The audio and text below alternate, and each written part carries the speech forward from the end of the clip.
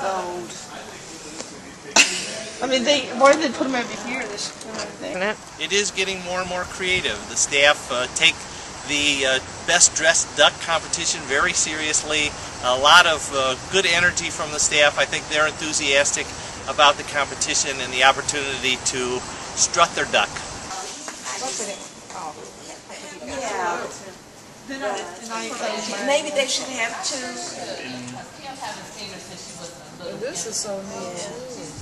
Oh, these are.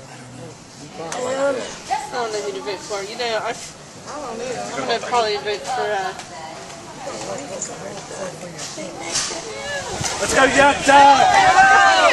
All right, you're doing good! Come on, Ryan. Four and two. I think.